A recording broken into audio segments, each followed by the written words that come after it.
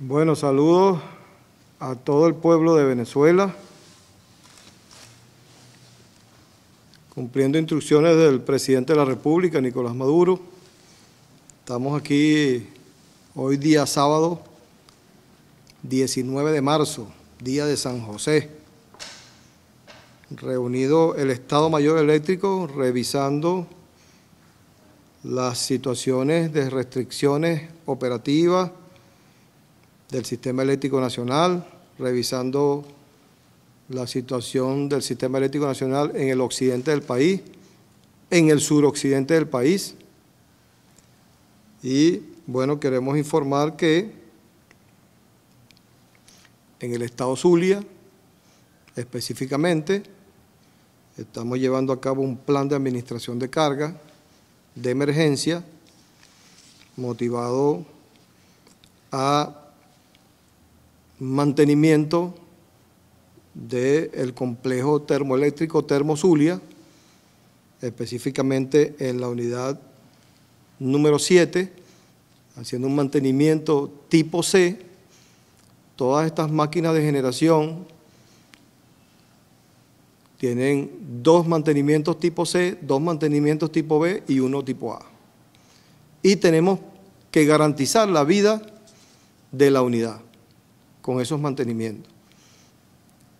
Y también vino una situación sobrevenida y falló la unidad número uno del complejo Termozulia, específicamente un repuesto de la turbina que ya lo tenemos y ya la fuerza trabajadora de la Corporación Eléctrica Nacional está trabajando en tres turnos de trabajo, 24 horas, para garantizar la operatividad de esas máquinas. Recordemos que la revolución bolivariana fue quien construyó el complejo termoeléctrico Termozulia. Rafael Urdaneta, general en jefe, comandante supremo Hugo Chávez.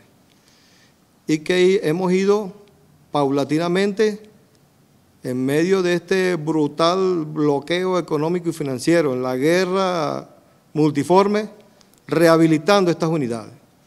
El Zulia hasta ahora, ese complejo cuenta con 600 megavatios de generación termoeléctrica. Y por supuesto tenemos 300 megavatios fuera, uno por mantenimiento y lo otro por reparación, que lo estamos haciendo en tiempo récord, con nuestra fuerza trabajadora.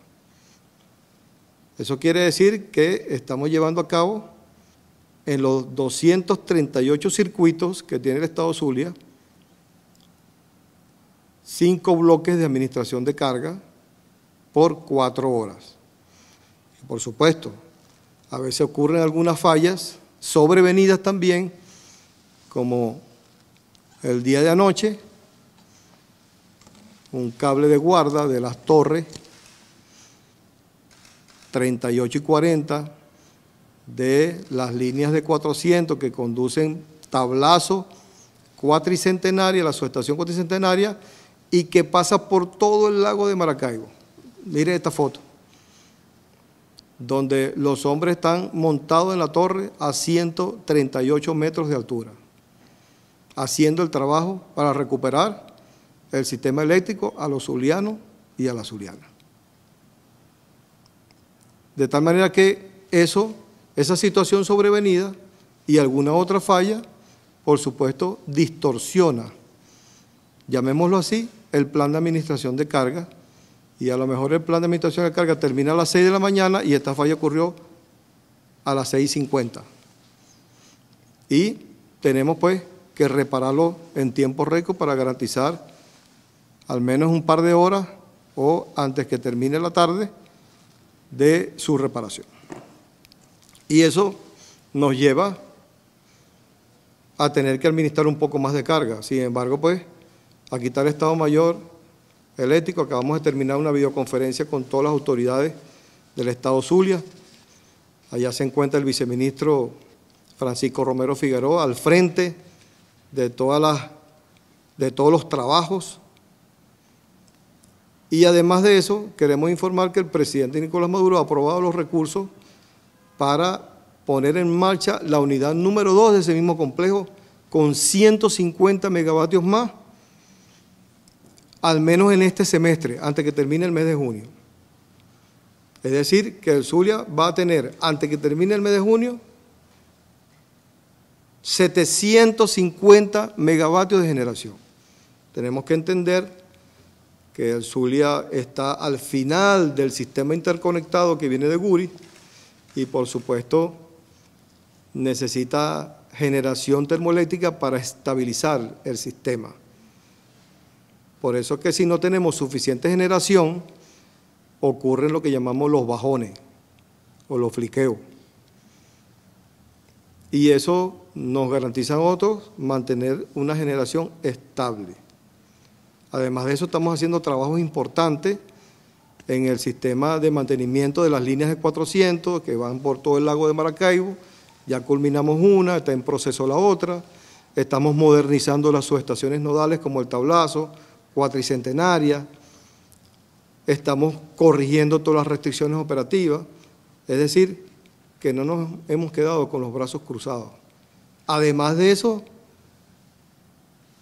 para el mes de septiembre, el Zulia tendrá en la planta Rafael Urdaneta, que queda muy cerca del complejo Termozulia, 75 megavatios más de generación termoeléctrica, con tres plantas que adquirimos de PDVSA y que estamos en un proceso de instalación de esas tres plantas de 25 megavatios cada una. Lógicamente, también tenemos que crear la conciencia del el sector industrial y comercial del Estado Zulia, que deben tener un uso responsable y eficiente de la energía. Además, deben tener un pago solvente de la electricidad.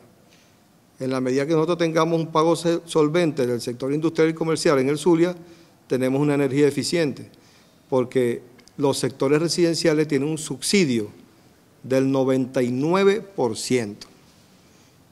99% el subsidio del sector residencial en todo el país.